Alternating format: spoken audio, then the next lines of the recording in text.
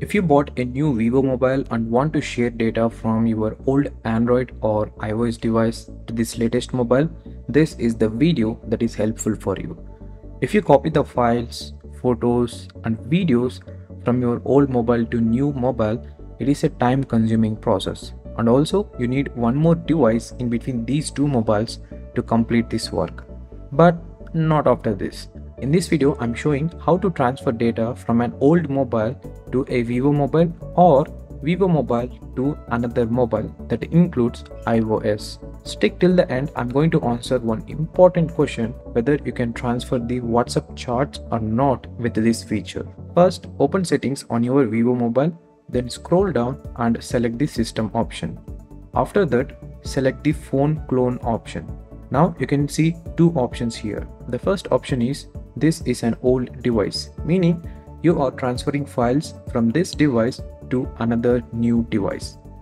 The second option is this is a new device, meaning you have an old mobile and you want to transfer files from that to this new mobile.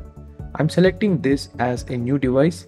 After that, it shows two options, Android or iOS. I'll explain about these two how to download the app and do the process.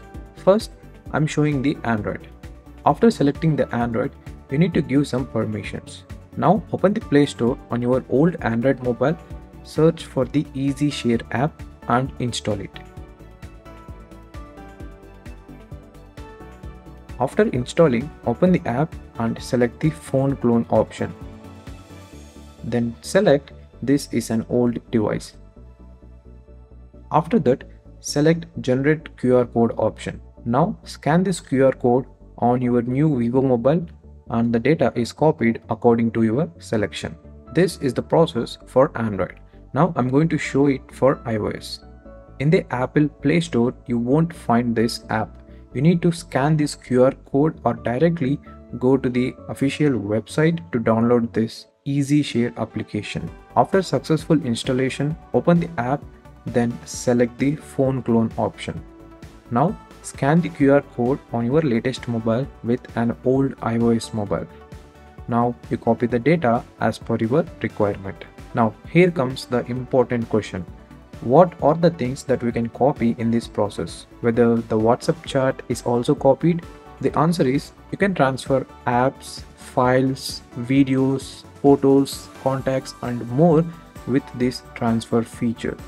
But you cannot transfer the WhatsApp chat. So this is the process you need to follow to copy data from iOS to Android or Android to Android.